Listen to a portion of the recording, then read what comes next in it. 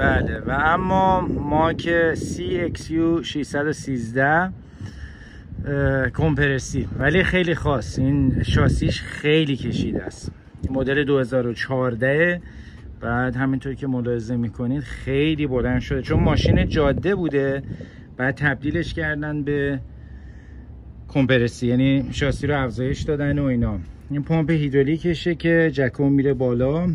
بعد ادبلوشه که می‌بینیم اینکه گازوئیلش نمای داخلش گیربکس اتومات هست به این شکل به RND این سیستم بغل گیربکسی یا پی تی این دسته دنده ای که می‌بینید این آمپراژ خیلی خوش دسته خیلی خوش دست و عالیه.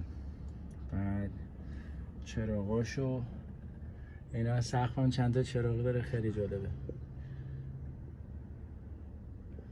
از دکمه هاشم بگیرم.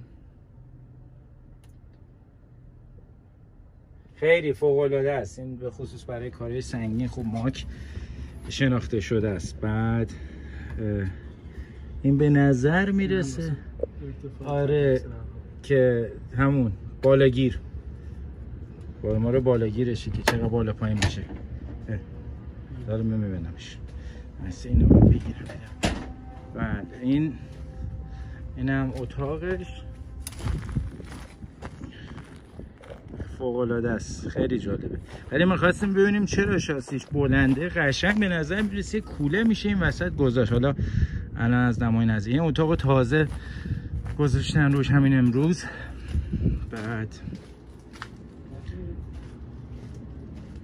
اینم از نمای بغل. حالا کلی بخوایم نگاه کنیم دلیل بلند بودنشونه قد یه اتوبوس قشنگ. خیلی بلنده از موتورش و اینا فعلا اطلاعاتی در دسترس نیست تا مالکش رو ببینیم.